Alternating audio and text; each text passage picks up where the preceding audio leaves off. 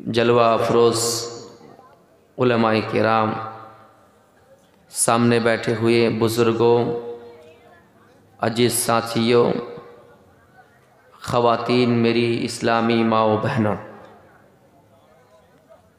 मैंने कुरान करीम की एक आयत पढ़ी और हदीस का एक टुकड़ा पढ़ा। इसी के ज़िम्न में बातें रखूँगा इन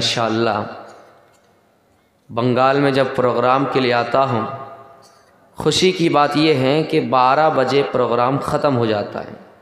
अब आप कहेंगे, इसमें बुराई की क्या बात है कि अगर पूरी रात ही प्रोग्राम हो? नहीं मेरे भाइयों।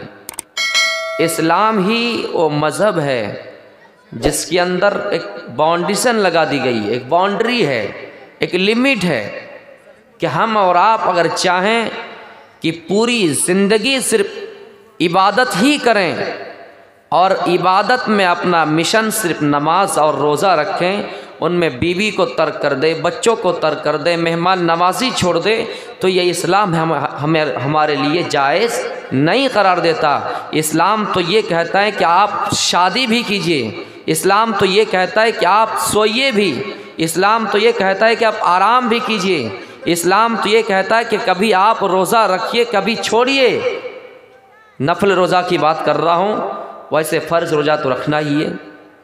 तो मेरे भाइयों, पूरी रात का प्रोग्राम जहाँ पे होता है, ये गलत होता है।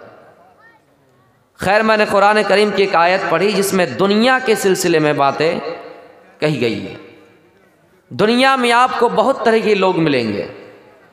कुछ लोग आपको ऐसे मिलेंगे जो सिर्फ़ माल जमा करते रह जाएँगे और कब्र में उनके पैर लटक जाएँगे। करीब है कि उनकी मौत आ जाए, लेकिन फिर भी वो इंसान माल जमा करते करते अपनी ज़िंदगी गुजार देंगे, उसको खर्च नहीं करेंगे।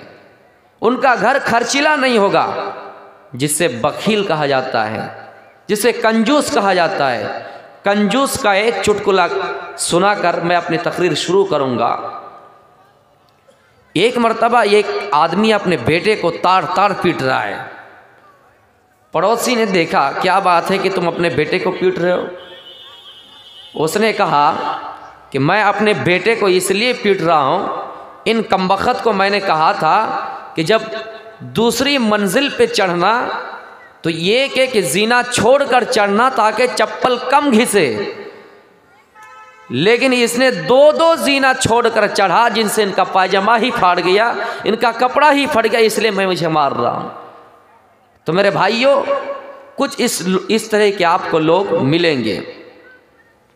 एक आदमी की मिठाई की दुकान है, उनके बेटे से कोई कहता है कि तुम्हारे अब्बू की मिठाई की दुकान है, रोज़ रसगुल्ला खा रहे होंगे, रोज़ मिठाई खा रहे होंगे।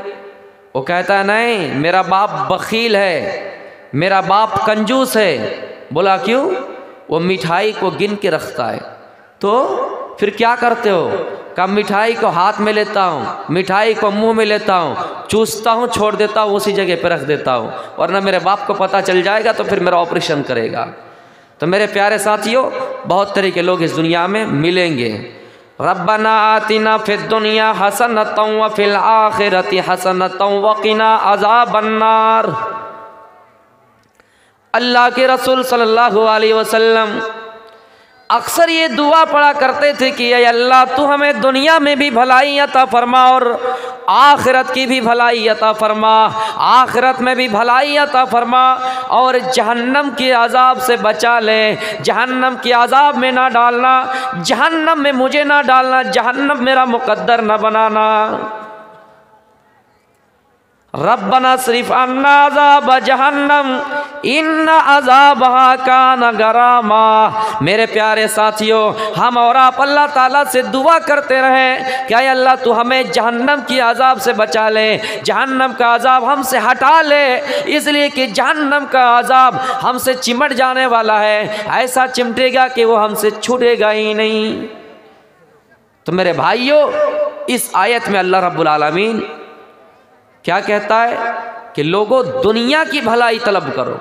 कुछ लोग कहते हैं ना कि अल्लाह रब्बुल आलमीन ने दुनिया कमाने से मना किया है, दुनिया की भलाई ढूँढने से, दुनिया की भलाई तलब करने से मना किया। नहीं मेरे भाइयों कि कौन कह रहे हैं? ये किसकी दुआ है? कुरान की आयत है, ऊपर से दुआ। अल्लाह के रसूल कह रहे हैं कि अल्लाह के रसूल सल्लल्लाहु अलैहि वसल्लम अक्सर ये दुआ करते थे रब नसरिफ अन्ना अजाब जहन्नम, इन्ना अजाब का नगरामा रब्बना आतिना फिर दुनिया हसनत फिल आखिरत हसनत वकीना अजाब अन्नार आय अल्लाह, तू हमें दुनिया में भी भलाई अता फरमा और आखिरत में भी भलाई अता फरमा और जहन्नम के अजाब से बचा ले। पता चला हम दुनिया में अल्लाह से औलाद मांग सकते हैं। दुनिया में हम अल्लाह रब्बुल आलमीन से जायदाद मांग सकते हैं। अल्लाह से कह सकते अल्लाह, हमारी बिल्डिंगें मज़बूत हो, हमारी इमारतें मज़बूत हो। अय अल्लाह, हमारे पास माल हो। हम मांग सकते हैं, दुनिया की भलाई हम चाह सकते हैं, लेकिन गलत कब होगा? जब हम दुनिया की नेमतों को पाकर या दुनिया की दौलत को पाकर अपने आखिरत को भूल जाएँ। अल्लाह की याद, अल्लाह के ज़िक्र असकार से गाफिल हो जाएँ। अल्लाह को याद करने से मेरे भाइयों गफलत बरतें, तब गलत होगा, उससे पहले गलत नहीं होगा। हम दुनिया की भी भलाई आता करें, मांगे अल्लाह रब्बुल आलमीन से, और आखिरत की भी। दुनिया की भलाई क्या है? एक लड़का शादी होने से पहले अल्लाह से कह सकता है, आय अल्लाह जब मेरी शादी हो तो किसी अच्छे घर में शादी हो। ये एक लड़की मन्नत मांग सकती है कि अल्लाह जब मेरा कहीं निकाह हो मेरा कहीं विवाह हो मेरी शादी हो अच्छे घराने में शादी हो दीनदार लड़के से शादी हो नौकरी वाले लड़के से शादी हो कारोबार वाले लड़की से कार, कारोबार वाले लड़के से शादी हो तिजारत वाले लड़के से शादी हो बिजनेसमैन आदमी से मेरी शादी हो ये दुनिया की भलाई है। वो अगर चाहें तो मांग सकती है लड़का चाहे तो मांग सकता है लड़की चाहे तो मांग सकती है। इसमें बुराई की बात नहीं है हर्ज की बात नहीं है। लड़का अगर कहें कि अल्लाह मेरी बीवी अच्छी हो, मेरी औलाद अच्छी हो, लड़की कहे मेरा शोहर अच्छा हो, मेरा ससुर अच्छा हो, मेरी सास अच्छी हो, दुआ मांग सकती है। ये दुनिया की भलाई है मेरे भाइयों। आखिरत की भलाई क्या है? अरे अल्लाह मरने के बाद हमारा हिसाब व किताब आसानी से लिया जाए। मरने के बाद जब नामा अमाल दिया जाए तो सीधे हाथों दिया जाए और हमारा ठिकाना बने तो जन्नत बने। कब्र में अजाब, कब्र में अजाब ना हो, जहन्नम में हमें डाला ना जाए, कब्र की अजाब में हमारी सख्ती ना हो। मेरे प्यारे साथियों, दुनिया की भी भलाई हम अल्लाह से मांग सकते हैं और आखिरत की भी भलाई हम मांग सकते हैं। लेकिन कुछ लोग मन्नत का मांगते हैं, अल्लाह ताला से भलाई का मांगते हैं आप आसमानों में देखेंगे, टूटता हुआ तारा, ये तारे नहीं है, ये क्षुद्र ग्रह है, जिनको एस्ट्रॉयड कहा जाता है एस्ट्रॉयड क्षुद्र ग्रह। और ये कहाँ पाए जाते हैं? जो साइंस के टीचर है, या साइंस के स्टूडेंट है, वो जानते होंगे। हमारी ये जो ज़मीन है, पृथ्वी है, ये मंगल ग्रह के मंगल ग्रह के पास है। और मंगल ग्रह और बृहस्पति ग्रह के अंदर बीच में बहुत स्ट्रॉयड होते हैं छोटे छोटे उल्का होते हैं। और जब ये आपस में टकराते हैं छोटे छोटे पत्थर या बड़े बड़े पत्थर आपस में टकराते हैं और ये मंगल ग्रह अपनी जगह से हट जाते हैं तो फिर ये पत्थर टूट कर ज़मीन में गिरते हैं, धरती पर गिरते हैं या हमें टूटता हुआ तारा दिखाई देता है। और जब ये टूटता हुआ तारा दिखाई देता है तो हम और आप क्या कहते हैं कि शैतान को दुर्रा मारा जाता है। या फिर कुछ लोगों ने अकीदा ये बना लिया कि टूटता हुआ तारा का ये टाइम है, हम मन्नत मांगे। तो स्टूडेंट लोग मन्नत मांगते हैं कि हम इम्तिहान में पास हो जाएँ, परीक्षा में पास हो जाएँ। जिनकी शादी नहीं, वो कहते कि मेरी शादी हो जाए। तो मेरे प्यारे साथियों, पता चला इस आयत से कि हम अल्लाह रब्बुल से दुनिया की भी भलाई हासिल कर सकते हैं। लेकिन अल्लाह को नहीं छोड़ सकते हैं। कुछ लोग होते हैं ना, जब माल ज़्यादा हो जाए तो अल्लाह को भूल जाते हैं। वमन आरज अन लहू मीशत शुरू यौमल क़यामत यमा जो शख्स अल्लाह को याद करने से, अल्लाह के ज़िक्र से गाफिल हो जाए, अल्लाह को याद करने से एराज करे। अल्लाह फरमाता है, आए लोगों, हम तुम्हारे दुनिया में रोजियों में तंग कर देंगे। तुम्हारी रोजियों में बरकत नहीं होंगी, तुम्हारे घरों में सुकून नहीं आएगा। तुम जो दुआ करोगे, वो दुआ कबूल नहीं होगी, तुम्हारी इबादतें कबूल नहीं होगी। हाँ अगर तुम्हारे पास माल है, माल को अपनी जगह पे रखो। नमाज़ का टाइम आए, नमाज़ अल्लाह का ज़िक्र करो, अल्लाह का नाम लो, ये पढ़ते रहो, अल्लाह अकबर अल्लाह अकबर, अल्हम्दुलिल्लाह सुबहान अल्लाह वलिल्लाहिल अल्लाह का ज़िक्र करते रहो, अल्लाह की तस्वीर बयान करते रहो, अल्लाह की बड़ाई बयान करते रहो। मेरे प्यारे साथियों, जो ऐसा नहीं करेगा, अल्लाह फरमाता है, वमन आरजान जिक्री फ़ैन लहू मीशतन कहो व नहशुरुहु यौमल क़ियामति। यामा उनकी दुनिया में हम रोजियों में तंगी कर देंगे। उनके घर में बरकत नहीं होगी, माल में बरकत नहीं होगी, दौलत उनके पास जमा नहीं होंगे, या हो भी जाएँगे तो उनमें बरकत नहीं होंगी। और जब क़यामत के दिन उसे उठाया जाएगा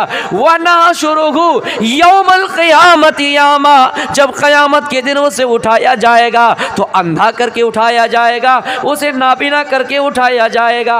किसी ने कहा, उनकी आँख नहीं होगी, किसी ने कहा आँख तो होगी, लेकिन वो देखने से महरूम हो जाएँगे। इस आयत से क्या पता चला कि हम अल्लाह का ज़िक्र करें, अल्लाह को याद करें, अल्लाह की तस्वीर बयान करें। लेकिन जब माल आ गया, हमारे पास एक लाख रुपया 2022 में हुआ, हमने अल्लाह को याद करना थोड़ी देर के लिए छोड़ दिया। 2023 हमारे सामने आए, हमारे पास दो लाख का माल आया, हमने अल्लाह का ज़िक्र करना और छोड़ दिया। चौबीस सामने गुजरे, पच्चीस आए, छब्बीस आए, सत्ताईस आए, अट्ठाईस आए। इसी तरह करते करते 2050 करीब हुआ। माल इतना हुआ इतना हुआ कि हम अल्लाह को पूरी तरीके से याद करने से गाफिल हो गए। मेरे भाइयों, इतना यकीन जानिए कि जब ऐसा करेंगे तो माल में बरकत नहीं होंगे, रोजियों में तंगी कर दिए जाएँगे और क़यामत के दिन जब उठाया जाएगा तो अंधा करके उठाया जाएगा। इससे अल्लाह फरमाता है, या अयुगल्लदीन आमनु, ऐ ईमान वालो, ला तुलहिकुम अमवालुकुम वला औलादुकुम औ जिक्रिल्लाह, व मन यफअल ज़ालिक फउलाइका हुमुल खासिरून। ऐ ईमान वालो, कहीं ऐसा ना हो कि तुम्हें तुम्हारा माल हलाक कर दे, कहीं ऐसा ना हो कि तुम्हारी औलाद तुम्हें हलाकत में डाल दे। अल्लाह के ज़िक्र से गाफिल कर दे और जो ऐसा करेगा खासिरून। यही लोग खसारे में होंगे, यही लोग घाटे में होंगे, यही लोग नुकसान में होंगे, यही लोग जहन्नमी होंगे। जो ऐसा करेगा, जहन्नम में जाएँगे। मेरे भाइयों इस्लाम तो कहता है, या में काफा ईमान वालो, इस्लाम के अंदर पूरे तौर से दाखिल हो जाओ, पूरे के पूरे दाखिल हो जाओ। आज किसी मज़हब की पाठ पढ़िए। ईसाइयों से जाकर पूछे कि आए ईसाई, जीसस मसीह के मानने वाले, यीशु मसीह को तरजीह देने वाले ईसा को अल्लाह का बेटा कहने वाले नौज बिल्ला मरियम को अल्लाह की बीबी ठहराने वाले, बताओ शादी तुम्हारे धर्म के अनुसार कैसे की जाएगी? शादी तुम्हारे यहाँ कैसे की जाती है? शादी की परंपरा क्या है? शादी की रस्म क्या है? शादी का तरीका क्या है? वो बता नहीं पाएँगे। इसलिए कि ईसा सलाम ने शादी ही नहीं की है। मेरे भाइयों, दुनिया के अंदर कोई ऐसा मज़हब नहीं जो आपको चलने का तरीक़ा सिखाए, जो आपको बैठने का तरीक़ा सिखाए, जो आपको उठने का तरीक़ा सिखाए, जो आपको लेटने का तरीक़ा सिखाए। मेरा मज़हब तो है, इस्लाम तो है, जो आपको चलने, उठने, बैठने, लेटने, सोने, जागने, यहाँ तक के बीवी से हम बिस्तर करने, हम बिस्तर होने का तरीक़ा भी बताता है। इसलिए मेरे प्यारे साथियों, इस दीन को तरजीह दो। इस दीन को तरजीह दो और अल्लाह के ज़िक्र से गाफिल ना हो। ऐसा हो जाएँगे तो आप खसारे में होंगे। हाँ आज यही वजह है कि हमारी दुआ कबूल नहीं हो रही है। मुसलमान को मारा जा रहा है, मुसलमान को पीटा जा रहा है। आए दिन रेडियो पर, टेलीविज़नों पर छोटी छोटी खबरें हमारे सामने आती है। कभी तो आसाम के अंदर मदरसों में ताले लग गए। मदरसों का दरवाज़ा बंद कर दिया गया। मेरे भाइयों, कभी तो मणिपुर जल रहा है, कभी तो फिलिस्तीनी मुसलमानों को मारा जा रहा है, कभी तो बर्मा के मुसलमानों को मारकर लहू लहान कर दिया गया। कभी तो म्यांमार में मुसलमानों पर हमला हुआ। आए दिन हमें और आपको ये खबर सुनने को मिलती है। मुसलमानों अपने ज़मीरों को, जरा झांको अपने ज़मीरों पर। अपने गरीबान में झाँक कर देखो और अपने आप को ये सोचो और दिल की दुनिया बदलने की कोशिश करो। अपने अपने अंदर इनकलाब पैदा करने की कोशिश करो कि आज क्या वजह है कि मुसलमानों को मारा जा रहा है? मुसलमानों को मुल्कों से निकाला जा रहा है। मुसलमानों को सरहदों में रखा जाता है। मुसलमानों को मुसलमानों को कैंपों पर रखा जाता है। मेरे प्यारे साथियों, इसकी वजह क्या है? इसकी वजह यह कि आज हमारी दुआ कबूल नहीं हो रही है। इसकी वजह यह है कि आज हमारी दुआ कबूल नहीं हो रही है। जब इबादत कबूल नहीं होगी, दुआ कहाँ से कबूल होगी? और वो क्यों नहीं हो रही है? ये एक मरतबा का वाक़ है। तुलियत हाजिलाया इंदन नबी सल्लल्लाहु अलैहि वसल्लम। अल्लाह के नबी सल्लल्लाहु अलैहि वसल्लम के सामने कुरान की आयत पढ़ी जाती है। कुरान की आयत तिलावत की जाती है। इस मजमे में बैठे हुए मेरे मुसलमान भाइयों, मेरी मुसलमान माओ बहनों, रमज़ान के महीने में पाँच मरतबा छः मरतबा कुरान को ख़त्म करने वालों, कुरान की आयतों को पढ़ने वालों पूरा पूरा कुरान पढ़ने वालों, सुनो, आज कुरान पढ़ने से हमारी दिल की दुनिया क्यों नहीं बदलती है? ये एक आयत तिलावत की गई।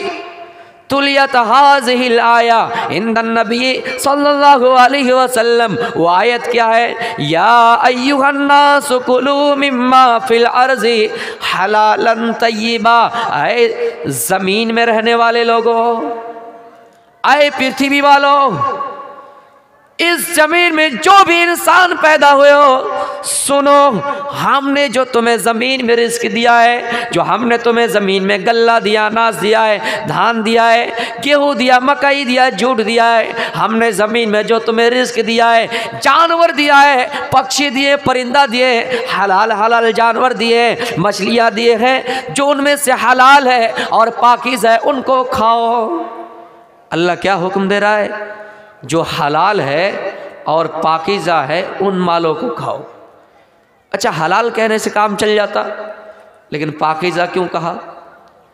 आप यहाँ से फ़रक्का जाएँगे और किसी होटल में नॉन मुस्लिम के होटल में खाना खाने बैठेंगे। एक मसला बता रहा हूँ गैर मुस्लिम के होटल में खाना खाने बैठेंगे और वहाँ खस्सी का गोश्त हो या कोई मुर्गा हो, आप खाएँगे। चावल दे के वो मुर्गा तो हलाल है, वो खस्सी हलाल है, लेकिन उसको जो ज़िबा किया गया है, गैर शरी तरीक़े से, यानी अल्लाह का नाम नहीं लिया गया गैर अल्लाह का नाम लिया गया है। यानी वो जानवर तो हलाल है, लेकिन हमारे लिए खाना हलाल नहीं है। यार, और एक मिसाल ले लीजिए। आप घर में कोई मुर्गा लाए, घर में कोई बकरा लाए, वो तो हलाल है, लेकिन आपने नाजायज़ पैसे से ख़रीद कर लाया। आपने सीना जोरी किया, कोई जा रहा था, आपने ज़बरदस्ती छीन लिया, आपने डंडा दिखा दिए, आपने गोली दिखा दिए, बंदूक दिखा दिए, ज़बरदस्ती छीन लिए। और लाकर घर में ज़िबा करके खा रहे हैं। वो बकरा तो हलाल है, लेकिन वो आपके लिए पाकिज़ा नहीं है, इसलिए कि आपने उसको हलाल पैसे से नहीं ख़रीदा है। मेरे भाइयों इतने में एक सहाबी खड़े हुए, जिनका नाम साद इब्न अबी वक्कास है, खड़े हुए और कहा आय अल्लाह के रसूल, आप हमारे लिए दुआ कर दीजिए, ताकि मैं मुस्तजाब दावा बन जाऊँ। अल्लाह से जो भी दुआ करूँ, अल्लाह रब्बुल आलमीन कबूल कर ले। मुस्तजाब दावा का मतलब ये है, हम जो भी अल्लाह से दुआ करें, रात के बारह बजे, तीन बजे, एक बजे, दो जो भी दुआ करें। तो वो लोग सहाबा थे, हमारी तरह थोड़ी। अगर हमें ऑफ़र मिल जाए कि तुम्हें एक विश दिया जाता है, तुम्हें एक ऑफ़र दिया जाता है, तुम क्या मांगोगे? तो हम जन्नत भी नहीं मांगेंगे मेरे भाइयों। हम क्या कहेंगे? या तो अच्छी लड़की मिल जाए या तो कारोबार अच्छा हो, तिजारत अच्छी हो, बिज़नेस अच्छा हो, हमें दुनिया की लालच है। लेकिन साहबा कराम को अगर वाफर दिया जाता तो वो जन्नत मांगते, जहन्नम की आज़ादी मांगते। तो मेरे प्यारे साथियों, कहा, मेरे लिए आप दुआ कर दीजिए। आए अल्लाह के रसूल, आप मेरे लिए दुआ कर दीजिए, ताकि मैं मुस्तजाब दावा बन जाऊँ, जो भी अल्लाह से दुआ करूँ, अल्लाह रब्बुल आलमीन हमारी दुआ कबूल कर ले। आपने फरमाया, अति मत आमका ऐसा जो तुम खाना खा रहे हो। ऐसा सुबह से लेके शाम तक जो तुम खाना खा रहे हो, जो चावल तुम खा रहे हो, जो रोटी तुम खा रहे हो, उसकी तरफ़ नज़र दौड़ाओ। वो रोटी हलाल है या हराम? वो गज़ा हराम है या हलाल? अगर हलाल है तो तुम्हारी दुआ कबूल हो जाएगी। तुम्हारे पेट में अगर हलाल का लुकमा जाता है तो तुम्हारी दुआ कबूल होगी। अगर हराम का लुकमा जाता है, हराम खाना खाते हो तो दुआ कबूल नहीं होगी। पता चला, हमारी दुआ आज कबूल क्यों नहीं हो रही है? इसलिए कि हमने हराम को अपना लिया है, हलाल से कोसों दूर चले गए। इस जलसे में और इस मजमे में बैठे हुए लोगों, अपने ज़मीरों पर झाँक कर देखो, अपने गरीबान में झाँक कर देखो, हमारे पास सौ रुपया है, सौ में कितना रुपया हलाल का है? एक रुपया अगर हराम का हो तो पूरे निन्यानवे रुपये को बर्बाद कर देता है। बाल्टी में अगर शराब का एक कतरा डाला जाए, एक बूंद डाली जाए, पूरे बाल्टी के पानी को ख़राब कर देती है।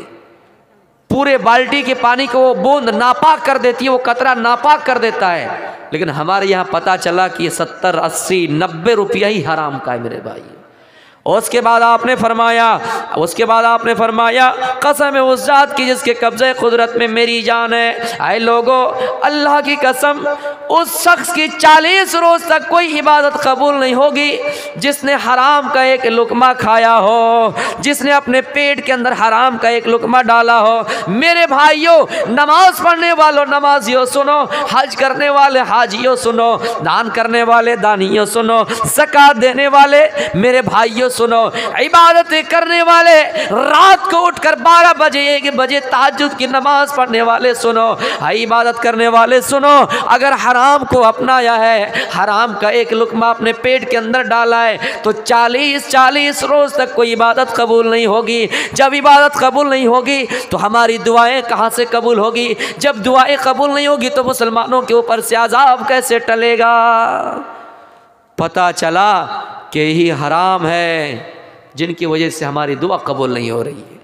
यही हराम कमाई है, जिनकी वजह से आज हमारे घरों में बरकत नहीं है। सुकून छिन गया मेरे भाई।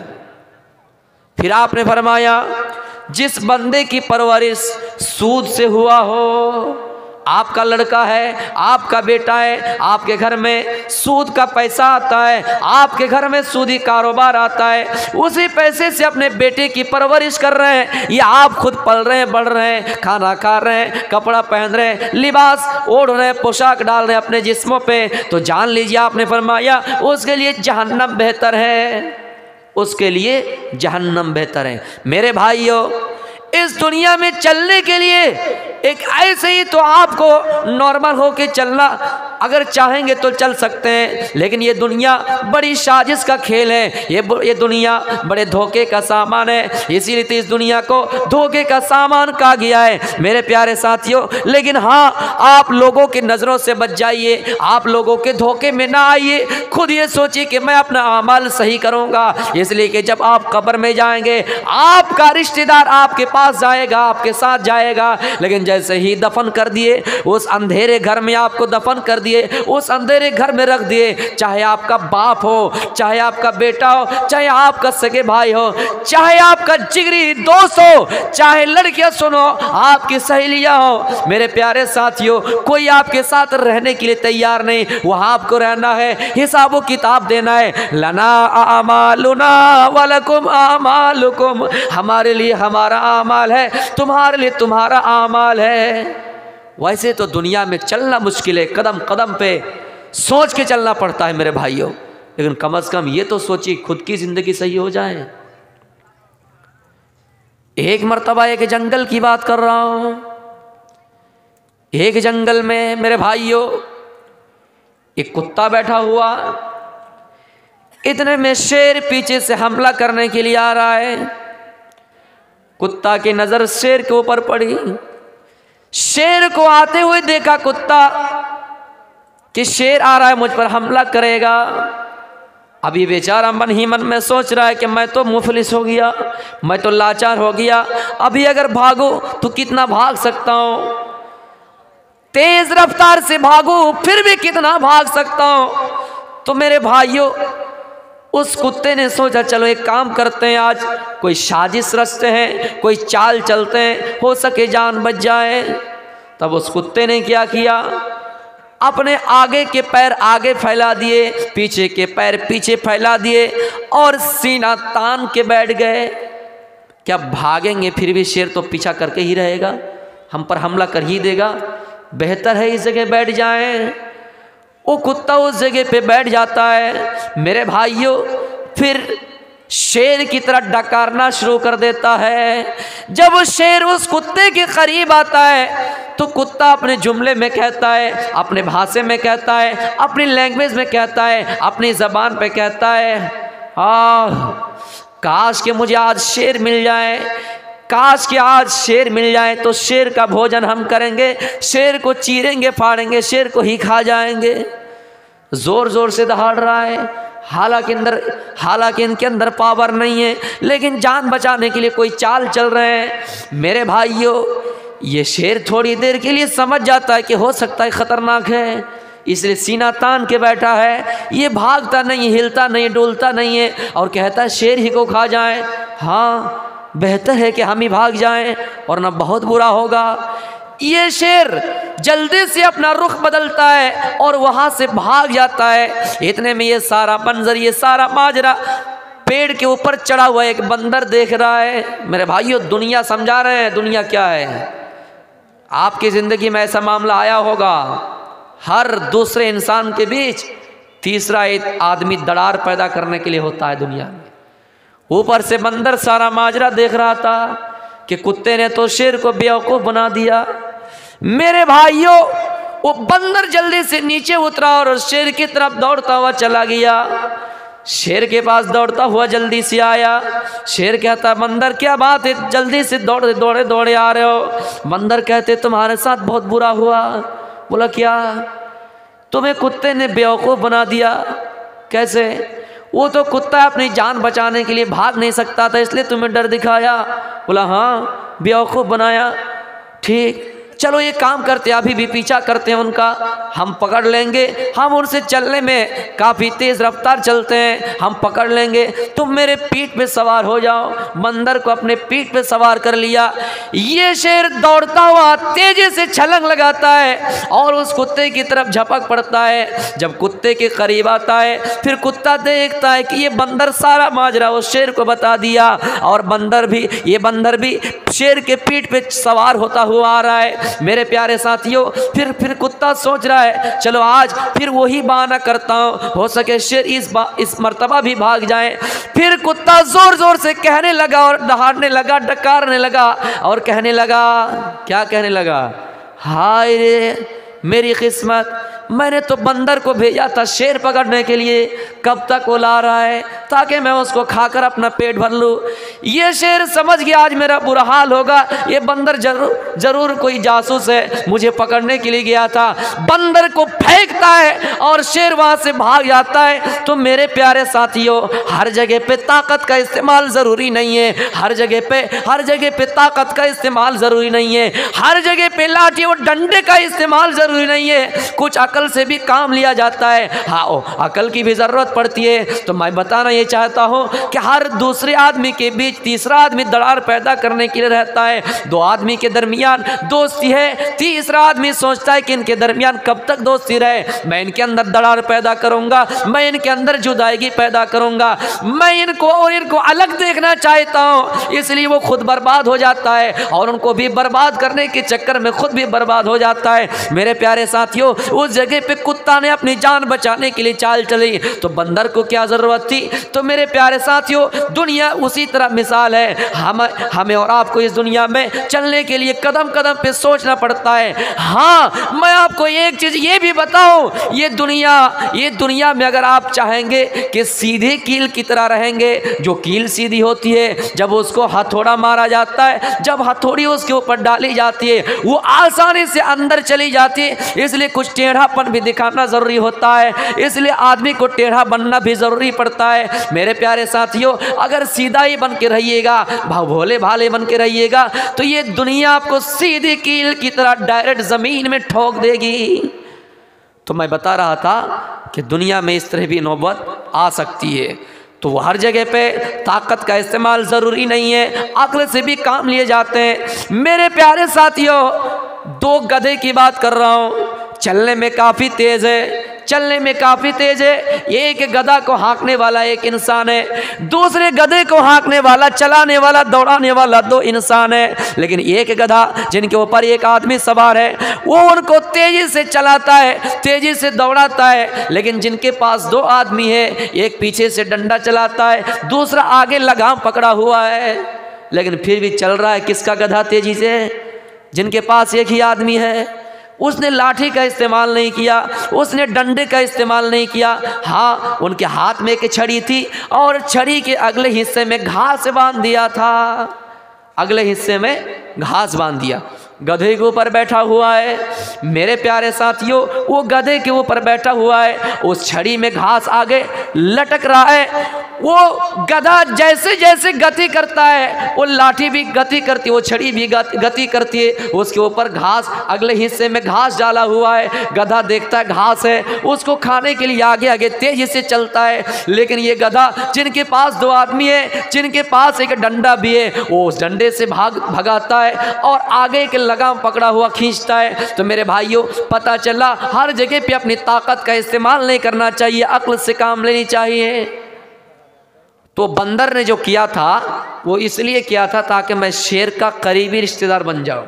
कुछ लोग होते हैं ना, गाँव में अगर कोई मुखिया हो, कोई सरपंच हो, कोई मंडल हो तो उसका खास बनने के लिए गाँव में जो बुराइयाँ होती है या चोर है या कुछ भी हो, गाँव में कुछ ऐसे मामला हो गए वो मान के चलिए कि वो मंडल बुरा है, उनके खिलाफ कहीं चर्चा हो रहा है तो उस चीज़ को वो बताने के लिए, यानी मतलब वो उस मंडल से करीब होना चाहता है, वो उस सरकार से, उस गवर्नमेंट से करीब होना चाहता है, उस बादशाह से वो करीब होना चाहता है, इसलिए ये चीज़ें वो जाकर उनको बताता है। कुछ लोग ऐसे आपको मोहल्ले में मिलेंगे। तो बंदर भी सोचा, चलो शेर को बता देते हैं कि तुम्हें बेवकूफ़ बनाया तो वो हमें अपने करीब कर लेंगे और हमें अपनी जान का ख़तरा नहीं होगा, हम बच जाएँगे, कभी हम पर वो दहाड़ेगा नहीं। इसलिए ऐसा सोचा था, लेकिन ऐसा नहीं हो